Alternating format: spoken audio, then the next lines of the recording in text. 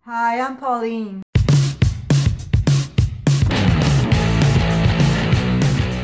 Hey, today we are going to make a DIY of your own palette, your own lipstick palette, and I'm going to show you how to do it in two seconds. So, get your favorite lipsticks and you want to make a perfect color for yourself, your own palette.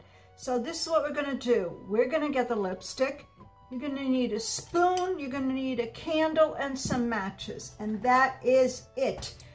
I'm going to show you in two seconds. Hold on. Okay, don't be scared. I cut three colors that I really, really, really love. And let's, I'll show you what I'm going to do next. Okay, so I lit the candle. I put three, I put one more color. And I put this color, um, you see here? I have three colors here in the spoon and we are going to melt it.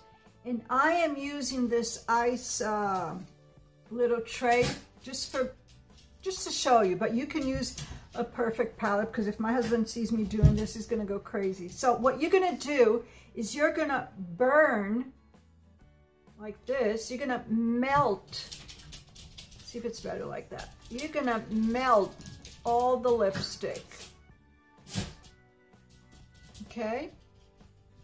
So you're gonna melt it and you're gonna mix it and you're gonna make your own perfect lipstick.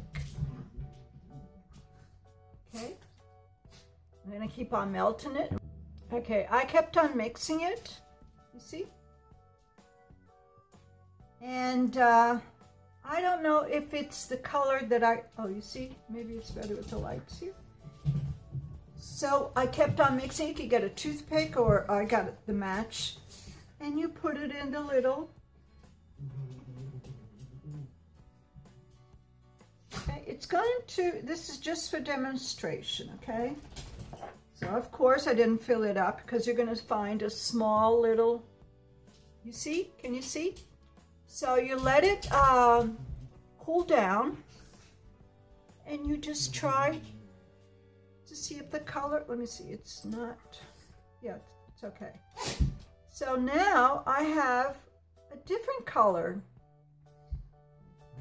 If I want it darker, if I want it brighter, so that's it. That's what you're gonna do. Isn't this cool?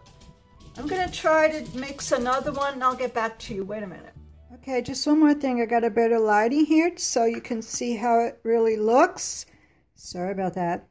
And don't forget that you can use the same lipsticks. It's so creamy. Don't forget, you can still pop it on, on your cheekbones and make a beautiful blush.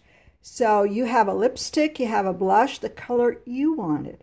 Hope you enjoyed. Have a great day. I'll check in with you tomorrow. Thanks for watching.